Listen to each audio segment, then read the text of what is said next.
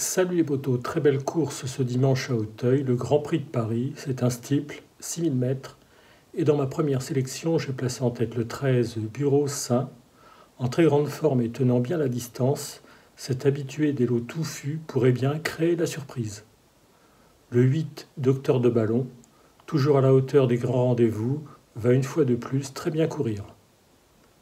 Le 10 Crystal Beach, Bien préparé pour cette course, l'entraîneur nous dit que tous les feux sont au vert. Le 9, bipolaire, pour lui aussi, tous les feux sont au vert et dépend d'une écurie en très grande forme.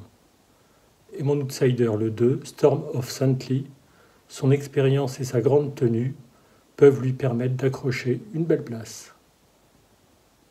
Je résume cette première sélection. Le 13, le 8, le 10, le 9 et l'outsider le 2.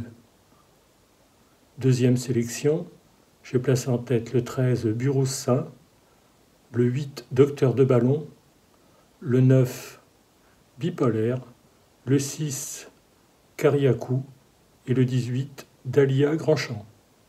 Voilà, à vous de jouer maintenant et je vous dis bonne nuit et à demain pour le coup de cœur et la dernière minute.